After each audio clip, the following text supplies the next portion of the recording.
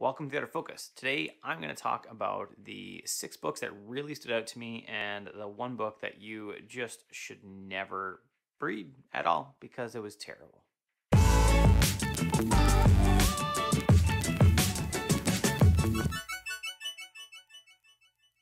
One of the big critiques about my reading plan, and I read, I think I've got 58 books this year. My high year was maybe two years ago. I can't remember if it was last year or two years ago, but it was 80 books is that how do you read that much and how do you retain the information in it?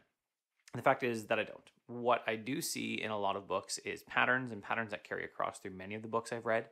What I do see is that, you know, say some marketing book is really good for um, finding your niche. Some other marketing book is really good for uh, a pattern. And this actually, this is one traction, which I won't talk about today. But um, traction is really good at helping you find um, which marketing channel will work for you. And so there's books that are recommendations for specific things. Today, what I'm going to talk about is the six books that really stood out for me, and we're going to start with The Bullet Journal Method. This book was great for me, even though I've been bullet journaling for a while, because it helped me refine my process. It's a great, it actually sits uh, right on my shelf. Hold on. Right there. It sits on my shelf.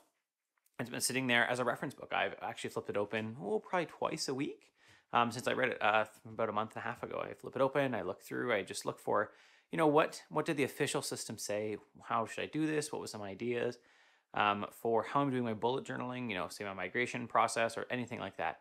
I found this was really good. It helped me refine my process and it helped give me some more ideas around how I track projects as well so that I can get my projects into my bullet journal and get more things back into my bullet journal because I had kind of gone away from it and uh, in some respects. Um, and actually, it helped me pull a lot of my stuff back into it. So I just have one canonical system, which is my notebook to deal with. So bullet journal method, a great one. Even if you're not bullet journaling, it was a great book for how to think about your projects. It had a huge section, a great section on how to think about your tasks and just how to think about what you should be doing, what's important. So I would recommend it just on that basis alone, even if you're not planning to ever do anything with a notebook. Next up, Clockwork. Now, I read Profit First in 2017 by the same guy, Michael Michalowicz, and it was a great book. It helped me budget my business better, helped me get my business under control, and not even make more, but just felt feel like I had more income in the business because of how I was treating the finances day to day. It was a great book for that. Now, Clockwork does the same thing with your time. It put constraints on your time so that you can use your time more effectively. Has a great, what he calls the ACDC matrix. ACDC matrix? Mm, might not be matrix. My name is ACDC.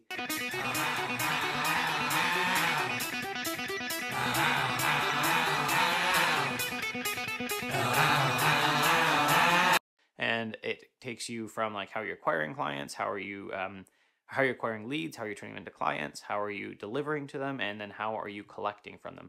Great thing. I'll be actually using this in 2019 as a bunch of metrics from my business so that I know where I'm going and I can track it. So I can see what's happening with my business. Uh, that's a big, again, big focus, big thing that I'll be doing is identifying these metrics for 2019 so that I can be awesome. And those are out of Clockwork by Michael Michalowicz. Now, Atomic Habits. Atomic Habits is great because it helped me develop some habits and it's helping me stop some other ones. I started tracking stuff uh, in my bullet journal again. Uh, I stole some stuff from Matt Ragland in his habit tracker and I'm using it to track uh, like, am I getting seven hours of sleep a night? Am I hanging with my kids during the day? And am I reading for an hour a day? Those seem to be the key habits that I really need. Um, specifically, starting out reading. I actually often start recording like this because I have children that get up even at I don't know what time it is. 5:30. I can hear a kid upstairs.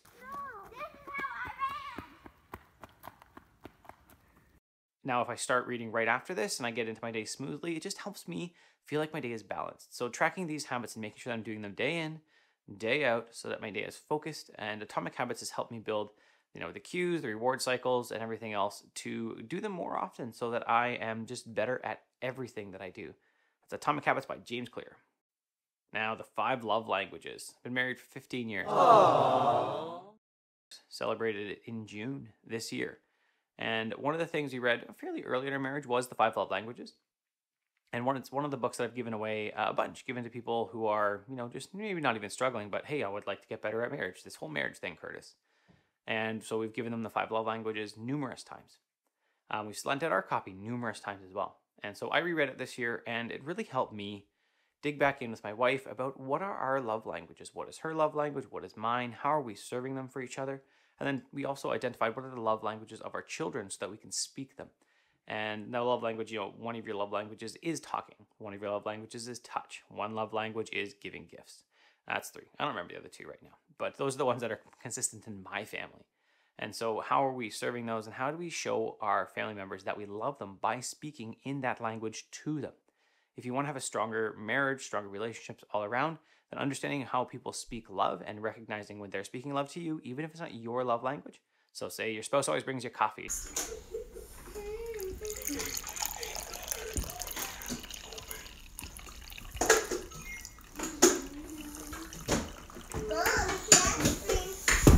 Okay, it says coffee. But if their love language is giving gifts, there goes one of the other ones, then um, that is them speaking love to you. And you need to recognize that at least a bit. Recognize that they're putting the effort in for you to show you that you're loved. Now, Real Artists Don't Starve by Mr. Jeff Goins. This is a book about artists not starving, like that you should be charging for your work uh, in some way. That, you know, uh, Michelangelo was not a starving artist. If you look at the money he had back then, he was making millions. He had millions of dollars. Um, and this book really helps you break the mindset that you shouldn't be charging for things, that you do have stuff of value, that you are providing content of value, that you do have things that people should be charging for, and it's not bad to ask for these things. Whoever told you it was bad, they were wrong, and they need to, I don't know, check something on themselves. They were wrong.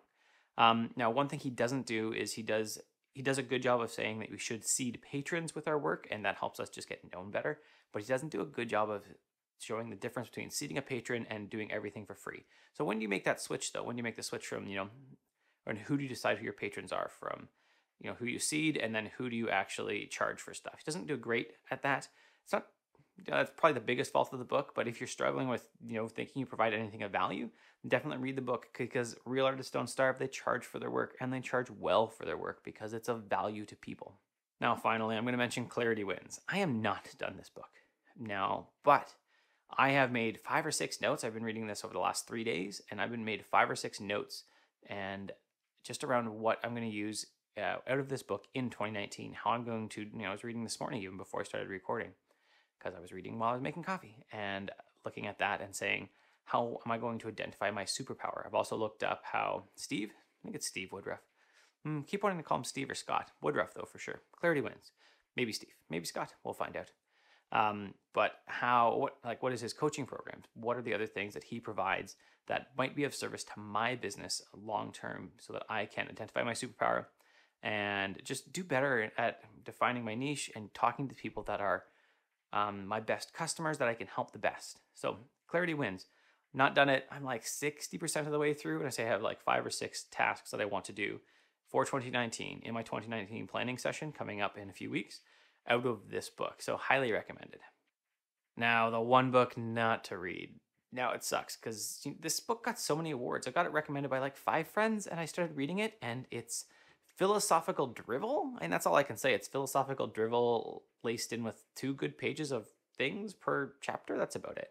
Uh, now, that book is Jordan B. Peterson's 12 Rules for Life. It sucks. It's just bad. It's not, I don't even know what else to say.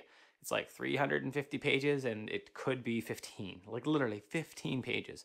And maybe, okay, maybe give him 25 because he gets a foreword. That's it. Um, I actually like all the rules. I think the rules are really good. I like some of the ways he's calling out people for just assuming they get life because they exist. Uh, not life. Um, they're assuming that they're, you know, they should be millionaires or get all this money just because they exist. I don't believe that. I believe that you do need to provide value and that if you're not providing value, then like expecting you can go to Starbucks and have this living wage or have, you know, a whole bunch of income just because you work at Starbucks, that seems faulty to me. The job, you know, it's a dime a dozen in some ways. Like most people can do coffee from Starbucks. So that's not that valuable. But he, like, it's just problematic. And sometimes he makes, you know, blanket statements about soldiers with PTSD that he doesn't back up at all. There's no citation in it. There's, you know, 25 citations on a page, but that one, not cited. Just some blanket throwaway statement. But then 300 pages later, there's actually a citation for a similar statement. He makes some blanket statements about women. He makes some blanket statements that kind of support this, you know, male in the basement saying like, why do women reject me? And like have, saying that women have all this power to reject men. And that's just so terrible. And supporting some of the thoughts that come out of that, just, I don't know, that seems pretty sketchy to me. So I am not going to recommend this book. Do not read Jordan Peterson's 12 Rules for Life. It's terrible. It's, I don't even know what else to say. it's a bad book. Um, and I guess I'm disappointed. I don't know because everyone said it was great, but I even bought it in hardback. It's like, oh, this will be so good. My three or four of my friends recommended this, and pra- previous recommendations have been stellar. Right? That one friend recommended "The Obstacle Is the Way," and I loved it. Introduced me to Ryan Holiday. I've read all of his books now. Great author, Ryan Holiday. Jordan B. Peterson, terrible. Don't even do it. Like, ugh, just avoid the book entirely. If you want to know what the rules are, read through the beginning. Uh, and that's about it. The last one talks about petting cats. I couldn't even tell you what that one was about. It was a long diatribe, like a, just a long story about how his daughter suffers, and that sucks that his daughter suffers. She's got you know degenerative arthritis. She's young, you know, in her teens still, I believe, from the book, and it sucks that that happened. But he never connected it back to why petting cats or dogs, because he does say dogs too, is a good thing. Like the best I could come up with after reading it twice was that they're suffering in the world. So if you get a chance to like sit down and like get comfort, go for it. Uh, that's all I got. I don't even know what to say. So there'll be a review of that coming up, uh, a longer review of that coming out on Should I Read It, which is one of my podcasts in a few weeks. I don't know. I have to look at my my schedule, but still, might be 2019. But still, I'll talk more about it, and I'm going to say a lot of the same things. it's a bad book. Don't do it.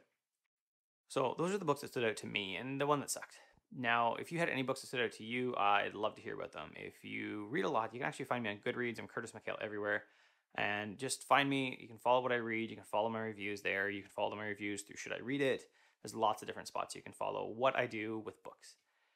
Now, if you have any books that stood out to you, let me know down in the show notes or show notes. Let me know down in the comments and the description below. You'll see links to all the books that I talked about. See your links to some of the reviews that are already out for these books. Um, some of them are just coming out like on Thursday of this week. I think Clockwork comes out on Thursday. Um, some of the other ones aren't coming out for a few weeks. Some of them I did earlier in the year. Um, yeah, that's it. I'd love if you subscribe. Give me any comments you have uh, about the content, whether you liked it, whether you didn't like it. Actually, keep the didn't like it to yourself. I don't want to hear about it. Yeah, have an awesome day.